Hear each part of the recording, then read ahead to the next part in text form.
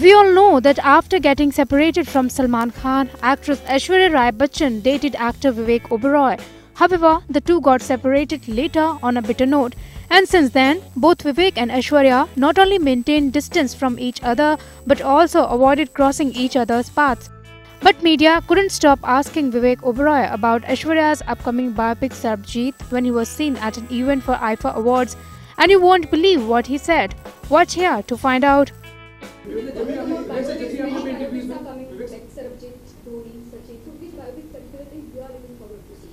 The one I'm acting in?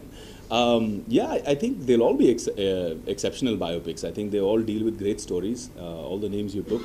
And uh, you forgot Azhar. Azhar is also there in between.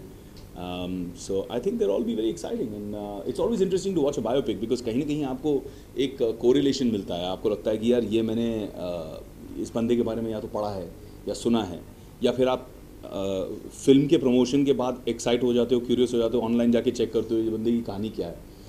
तो I think उसका जो एक मज़ा है एक बायोपिक का, और बाद बाद में जो लोग जानते हैं, जैसे मैंने जब परिटाल रवि का रोल प्ले किया था I was did a film call Rakta Charitra.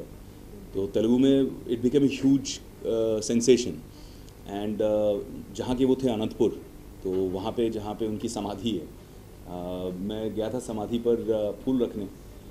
तो लोग इतने इमोशनल हो गए थे uh, उस बायोपिक को लेकर कि जैसे ही मैं वहाँ गाड़ी से उतरने लगा उन्होंने कहा नहीं हमारे लीडर वापस आए हैं। मैं मैं कहा लीडर वीडर उन्होंने कहा हमारे लीडर वापस आए हैं हम आपको ज़मीन पे पैर रखने नहीं देंगे। तो उन्होंने मुझे कंधे पे उठा लिया। तो मैं कंफ्यूज भी हो गया थोड़ा सा शॉक भी हो गया कि इतना स्क्रीन एंड ऑफ़ स्क्रीन का मतलब जो अंतर होता है हम लोगों के लिए हम तो एक्टिंग कर रहे हैं हमको तो पता है और लोग इतने इमोशनल हो जाते हैं उस चीज़ को लेकर Differences crop up between Vivek Oberoi and Aishwarya when the former held the infamous press conference against Salman Khan to please Aishwarya when they were a couple and the latter started avoiding him.